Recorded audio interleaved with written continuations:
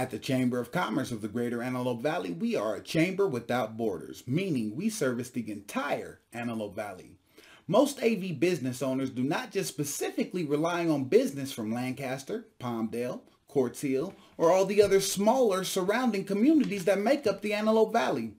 Most business owners are trying to do business with the entire Antelope Valley. Our name reflects on what we do. We are the Chamber of Commerce of the Greater Antelope Valley.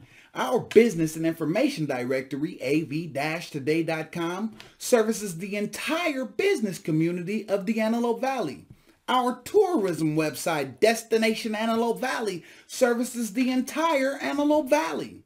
So if you want to do business with the entire Antelope Valley, then you need to join the Chamber of Commerce that provides you the tools for maximum exposure to the entire Antelope Valley. If you want the best, then you have to join the best.